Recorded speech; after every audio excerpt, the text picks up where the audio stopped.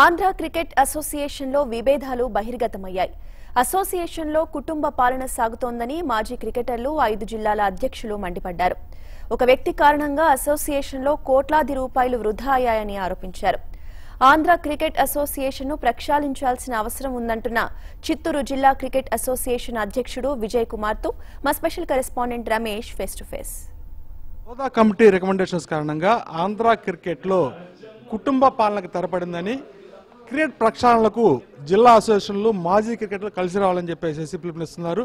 ఈ నేపథ్యంలో విజయవాడలో ఐదు జిల్లాలకు సంబంధించిన క్రికెట్ అసోసియేషన్ సభ్యులు మాజీ క్రికెటర్లు సమావేశమయ్యారు. అయితే ఈ సమావేశానికి సంబంధించి మరిన్ని వివరాలు అందించుకు మనతోటి చిత్తూరు జిల్లా క్రికెట్ అసోసియేషన్ అధ్యక్షులు విజయ్ కుమార్ గారు మనతో ఉన్నారు. విజయ్ కుమార్ గారు చెప్పండి. లోదా కమిటీ రికమెండేషన్ నేపథ్యంలో ఆంధ్ర క్రికెట్లో ఎటువంటి ప్రక్షాళన ఆశిస్తున్నారు మీరు? లోదా కమిటీ తీర్పు ఏ రోజు వచ్చిందో ఆ రోజే ఇంతకు మునుపున్న కమిటీ అంతా ప్రక్షాళన అయిపోయిందండి. అదంతా కూడా ఒక కుటుంబ పాలనలాగా ఎవరి దగ్గర అయితే క్యాష్ ఉందో ఎవరి దగ్గర అయితే క్యాస్ట్ ఉందో వాళ్ళని మాత్రమే తీసుకొచ్చి వాళ్ళ కుటుంబ పరిపాలనలాగా చేసేసి ఆంధ్ర క్రికెట్ అసోసియేషన్ భ్రష్టు పట్టించేశారు. క్రీడాకారుకి సంబంధించిన ప్రతి ఒక్క పైసాని కూడా క్రీడాకారులకు ఉపయోగించకుండా విచ్చలవిడితనంగా ఒక మంగళగిరిలో ఇంటర్నేషనల్ స్టేడియం కడుతున్నారండి. మంగళగిరిలో ఇంటర్నేషనల్ స్టేడియం కడితే దానికి వందల కోట్లు అవుతాయి. అంత డబ్బులు వేచించినప్పుడు వికెట్ ఏ విధంగా వేయాలో కూడా తెలియదు. దురదృష్టవశాత్తు మనకి ఎంఎస్కే ప్రసాద్ అన్నాడు ఒక క్రికెటర్. ఆయన్ని చూసి భావితరాల వాళ్ళు ఎంతో నేర్చుకోవాల్సిన అవసరం ఉంది. అటువంటి వ్యక్తి అక్కడ ఇన్ఛార్జ్గా ఉండి మన ఆంధ్రాకి క్రికెట్ డైరెక్టర్గా ఉండి వికెట్ వేసేటప్పుడు ఎవరన్నా వేస్తే నార్త్ సౌత్ వికెట్ వేస్తారు. కానీ అన్ని లక్షలు అన్ని కోట్లు పెట్టే ఇంటర్నేషనల్ స్టేడియంకి ఈస్ట్ వెస్ట్ ఎవరైనా వికెట్ వేస్తారండి? ఇటువంటి వాళ్ళు ఏమి చెప్పాలనుకుంటున్నారు క్రీడాకారులకి? నాకైతే అర్థం కావట్లేదు. ఇటువంటి వాళ్ళని క్రీడా అసోసియేషన్లో తీసుకొచ్చి భావితరాల భవిష్యత్తు వాళ్ళకి ఏ విధంగా చూపిస్తారు? నేను క్రికెట్ ప్లేయరు అతను క్రికెట్ ప్లేయరు మంగళగిరిలో ఈ విధంగా వికెట్ వేసాడని చెప్పాలనా? ఇటువంటి దౌర్భాగ్య పరిస్థితి క్రీడాకారులందరికీ వచ్చిందండి. ఇటువంటి ఎగ్జాంపుల్స్ చాలా ఉన్నాయండి. తిరుపతిలో ఒక చెరువులో చెరువులో తొంభై లక్షల రూపాయలు మట్టిపాలు చేశారు. ఒక చెరువులో గ్రౌండ్ రెడీ చేసి అందులో టర్ఫికెట్ వేశారు. ఒక టర్ఫికెట్ వేయాలంటే లక్షలతో కూడుకున్న పని. అట్లాంటిది ఆరు ఏడు టర్ఫికెట్లు వేశారు. ప్రతి సంవత్సరం ఒక నాలుగు చినుకులు ఆ చెరువులో పడితే చెరువు అంతా బురదమయం అయిపోతుంది. దానికి మళ్ళీ ఒక పది లక్షలు ప్రతి సంవత్సరం ఒక పది లక్షలు ఇరవై లక్షలు మట్టిపాలు చేశారు. ఈ రోజు ఆ చెరువుని ప్రభుత్వం ఆధీనంలో తీసుకునేది. మీరు ఇప్పుడు ఆ డబ్బునంతా ఎలా రికవరీ చేస్తారండి?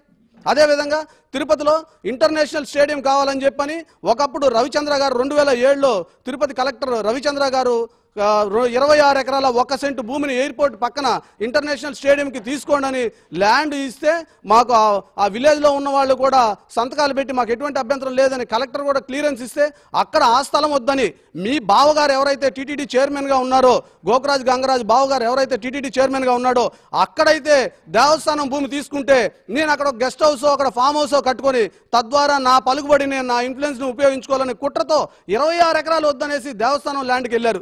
దేవస్థానం ల్యాండ్కి వెళ్ళిన తర్వాత మీరు ఏం చేశారండి? పర్మిషన్ లేకుండా చెట్లు కొట్టి అక్కడ గ్రీన్ ట్రిబ్యునల్లో కేసేస్తే ఆంధ్ర క్రికెట్ అసోసియేషన్ డబ్బులు తీసుకుని తొంభై లక్షలు ఫైన్ కడతారా? మీరా ఇది చేసేది? మీలాంటి వాళ్ళు ఉంటే ఆంధ్ర క్రికెట్ అసోసియేషన్ బాగుపడుతుందని ఎవరన్నా అనుకుంటారండి? కాకపోతే ఇప్పుడు లోదా కమిటీ సిఫారసు ప్రకారం మీలాంటి వాళ్ళు ఎవరో ఉండడానికి లేదు. డెబ్బై ఏళ్ళు దాటిన వాళ్ళు అసోసియేషన్లో ఉండకూడదు.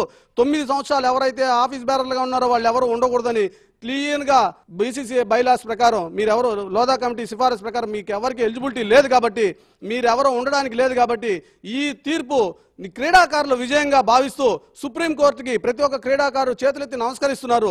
ఈ సంస్కరణలు తెచ్చిన సుప్రీంకోర్టుకి నిజంగా అభినందనలు తెలియజేసుకుంటూ ఇటువంటి తీర్పుల వల్ల క్రీడాకారులు చాలా అభివృద్ధి చెందే అవకాశం ఉందని ఆనందపడుతున్నారు. ఇప్పటికైనా సరే గోకరాజు గంగరాజు డెబ్బై ఏళ్ళు దాటి ఆంధ్ర క్రికెట్ అసోసియేషన్ నుంచి ఏ విధంగా బయటపోయాడో కృష్ణా జిల్లా నుంచి కూడా డెబ్బై ఏళ్ళు దాటింది. ఇంకా నువ్వు అధ్యక్షుడిగా కొనసాగడం ఎంతవరకు సబబని నేను అడుగుతున్నాను. అదేవిధంగా కృష్ణా జిల్లాలో ఉన్న వాళ్ళని కూడా అడుగుతున్నాను. మీ ద్వారా ఎంతో మంది క్రీడాకారుల్ని ఎంతో ఆఫీస్ బేరల్ని అందించిన కృష్ణా జిల్లా ఇంకా ఇటువంటి వాళ్ళని మీ అసోసియేషన్లో ఎందుకు పెట్టుకున్నారో నాకైతే అర్థం కాలేదు కాబట్టి మీరందరూ కూడా ఈ పిలుపుని స్వీకరించి భవిష్యత్తు వాళ్ళకి దారి చూపించే మార్గదర్శకులుగా ఉండాలని చెప్పి కోరుకుంటూ ఇటువంటి వాళ్ళని వెంటనే బయటకు పంపించాల్సిన ఆవశ్యకత ఇప్పుడు ఏర్పడిందని మీ ద్వారా తెలియజేసుకుంటున్నాను అండి. ఆంధ్ర క్రికెట్ కార్యకలాపాలని ఒక ప్రక్షాళన దిశగా సాగుతున్నాయని చెప్పుకోవచ్చు. ఈ రోజు ఐదు జిల్లాలకు సంబంధించిన అసోసియేషన్ అధ్యక్షులు అదేవిధంగా మాజీ రంజీ క్రికెటర్లు మాజీ రంజీ క్రికెట్ కెప్టెన్లు వీళ్ళందరూ కూడా హాజరయ్యారు.